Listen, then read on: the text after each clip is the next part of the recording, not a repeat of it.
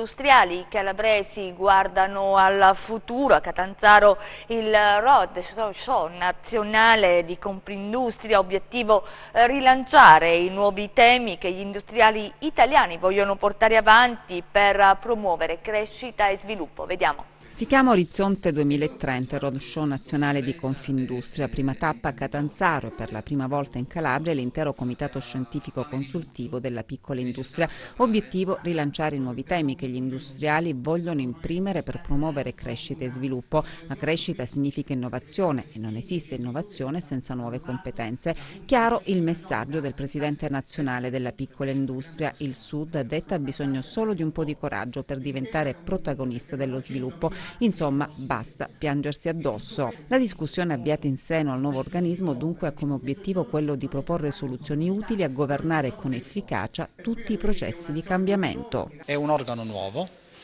costituito in maniera multidisciplinare, quindi con componenti del mondo dell'impresa, del mondo accademico, del mondo delle professioni, anche con professori di università estere, eh, proprio per avere, eh, e anche multiterritoriale, per avere sia una multidisciplinarità nell'approccio, ma anche una multiterritorialità, quindi cercare di avere uno spaccato quanto più possibile ampio di quelle che sono le tematiche dell'impresa e dell'imprenditore. Gli industriali dunque si proiettano verso il futuro. In questo periodo storico la sinergia e la collaborazione rappresentano la strada necessaria per rafforzare i legami col territorio territori e tentare di superare insieme i problemi del Sud. La centralità dell'impresa, dell'imprenditore, soprattutto nelle piccole industrie è davvero importante perché c'è una simbiosi quella tra impresa, territorio. Meritocrazia, futura innovazione, è stato sottolineato, rappresentano le parole chiave per costruire un percorso di sviluppo futuro. Sicuramente l'impresa oggi come oggi è lo strumento funzionale allo sviluppo del territorio, perché nell'impresa non c'è soltanto il perseguimento dell'utile, ma c'è soprattutto